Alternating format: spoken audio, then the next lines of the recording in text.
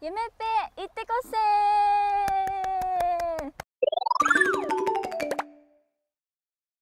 ということで始まりました。福島県出身派遣福島公式アンバサダーの柳井ゆめなです。今回もこのマイカメラを持って福島県の魅力を皆さんにお伝えしていこうと思います。そして今回もこの方をお呼びしております。もうおなじみですね。この方です。どうも下から失礼しました。福島県出身ラグフェアの引地洋介です。今回も私サポートさせていただきます。よろしくお願いします。よろしくお願いします。吉さん。はい。で柳井さん。はい。ここはんどこですか？ここはですね、はい。福島市にあるお米農家の加藤ファームさんにお邪魔しております、加藤ファーム2009年に祖父の後を継ぐため夫婦揃ってサラリーマンから転身した米農家さん。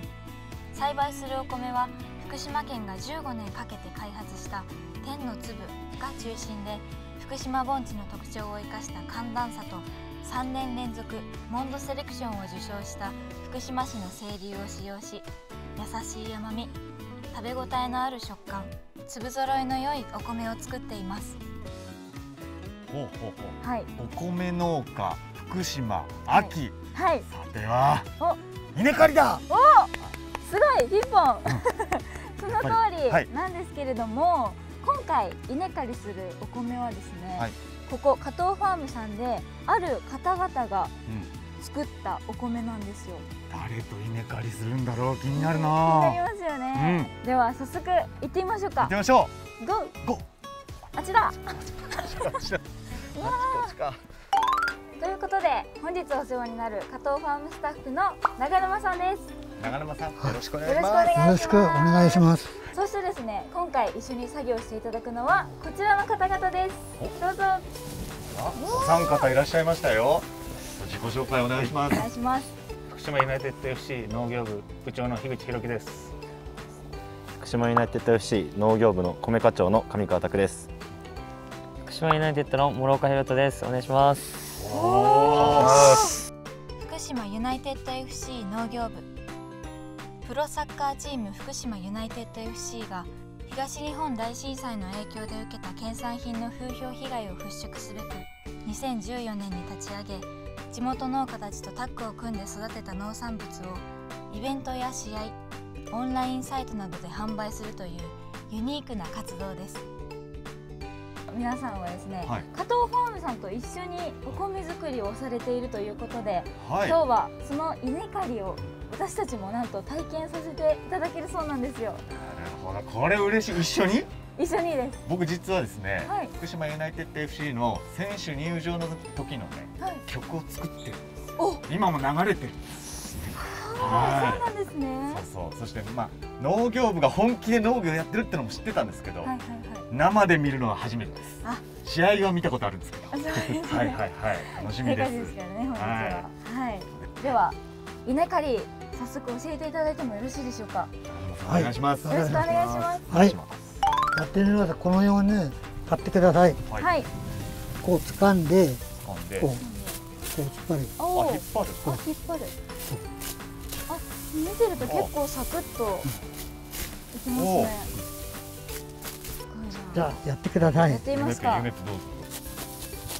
よっ。わあ取れますね。でもすごい。すごい。おお力強い。なるほど。おいけるよ。いけるけど。どうですか？これ足腰が。確かに。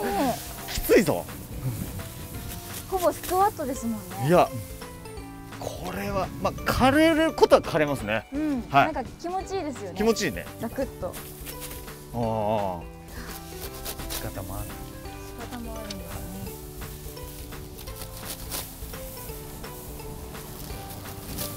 そんなに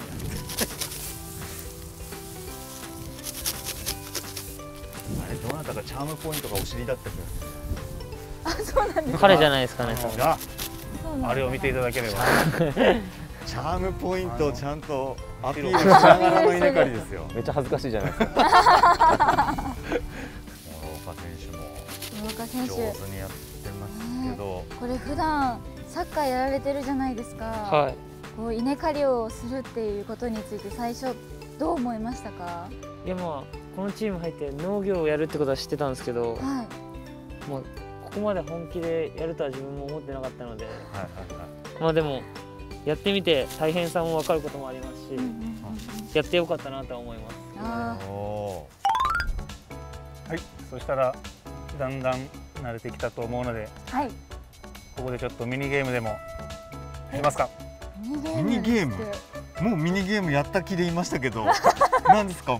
まだまだなんかた確かに。何をするんですか？今日は諸岡選手と上川選手も来ているので、はい。ちょうど2対2になりますので2 2対2稲刈り勝負をし稲刈り勝負？2て対2いただこうかなとと思います。2うわ対いや3対2じゃない。樋口選手はなんでな何するんですか？僕はもう審判として審判？温かく皆さんを見守らせていただこうかなと思います。審判やらないってことですか？僕はもう今までいっぱいやってきてるんでちょっと樋口と樋口でなんか近いかと思ったら 一人だけやらないでいい人。そうです。そこで親近感あったんですね。えどうどういう対決ですか？ルールは。そうですね。稲刈り勝負で 1分間僕が測りますのではい。その間により多くの稲を刈った方の勝ちということで。おおわかりました、はいやりましょう。やりましょう。はい。それでは稲刈り対決始めたいと思います。はい。はい。準備はいいですか？はい、よーいスタート。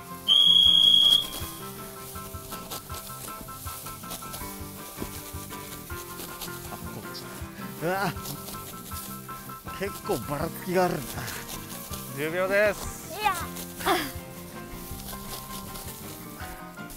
やばいもう筋肉あと10痛にな秒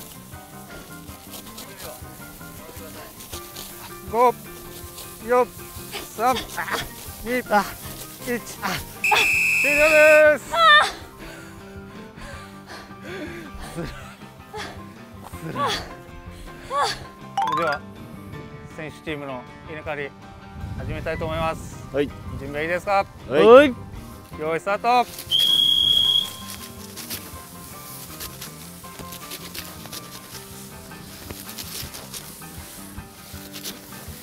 10秒。さあ。2、1終了です。うーこれいったでしょ。これいきましたねこれは。ということで、はい、稲刈りが終わりました。終わりました、はい、まあ、パッと見どっちですかねこれは。変わらないんじゃないですか？樋口選手の判断でお願いします、ね。はい、変わらないかなと思うんですけどまあでもよく見たら諸岡選手と上川選手チームのうわ感じです。あーやっぱそうか。結構変わりますけど。ードヤ顔です。本当ね。はい。し試合も頑張ってください。頑張ってください。負けました。負けました。はいここからは樋口選手上川選手そして諸岡選手にお話をお聞きしていこうと思います夢っぺいてこせでは福島の生産者さんに福島の魅力っていうのをお聞きしているんですけど皆さんが思う福島の魅力教えていただいてもいいですか？僕たちが思う福島県の魅力は美味しいものと温かい人です。これはどういう思いで書かれたんですか？私たち福島ユナイテッド FC の農業部の活動で、まあ、年中美味しいえー作物をを作っています。でその中でも、えー農作業していく中で農家さんとの、まあ、触れ合いの中で、うん。まあ、温かさっていうのを自分たちが、まあ、直接話してみて、まあ、触れ合って経験したので、うん。まあ、そういうのは自分たちとしては、まあ、魅力と思いました。まあサポーターの方とは触れ合うこともあるんですけど、まあ、こうやって農業部があることによって普段サッカーしてるだけじゃ知り合うことのできない農家さんとも知り合えて、まあ、作業のお話もしますし、うん。作業終わったら一緒にお菓子食べながらお茶しながらとかもうん。あったりして、まあ、そういうのも含めて、まあ、福島の人はあったかいなと思いますし。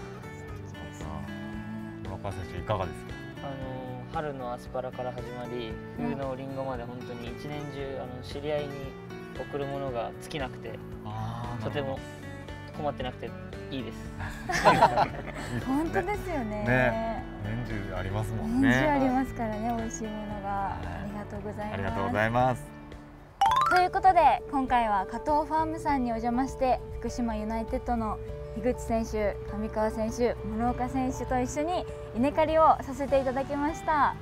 福島ユナイテッドの皆さんには引き続き後編の方にもお付き合いいただきますので、よろしくお願いします、ということで今日は貴重な体験どうもありがとうございました。ありがとうございました。ありがとうございましたどうもありがとうございます。夢っぺの取材後期加藤ファームさんで樋口選手上川選手諸岡選手と一緒に稲刈りを体験してお話も聞けて選手自身がここまで本気で農業に取り組んでいることに驚きました。お米作りの大変さも知って改めて私も福島のお米の魅力をもっとたくさんの人に伝えていきたいなと思いました。皆さんご視聴ありがとうございました。ぜひぜひチャンネル登録とグッドボタンよろしくお願いします。そして発見福島公式 LINE アカウント福島応援隊では福島県産品のイベントやお得なキャンペーン情報などを配信していますのでぜひぜひお友達登録してください。また福島の食材が購入できる福島市場というサイトがあります。概要欄に URL を貼っておきますのでぜひぜひお取り寄せしてみてください。それでは次回もお楽しみに。バイバーイ。まあ新米が取れたので、まあ、せっかくなら美味しくいただきたいと思いましてそこで福島県で最高のご飯のお供といえばいたただきます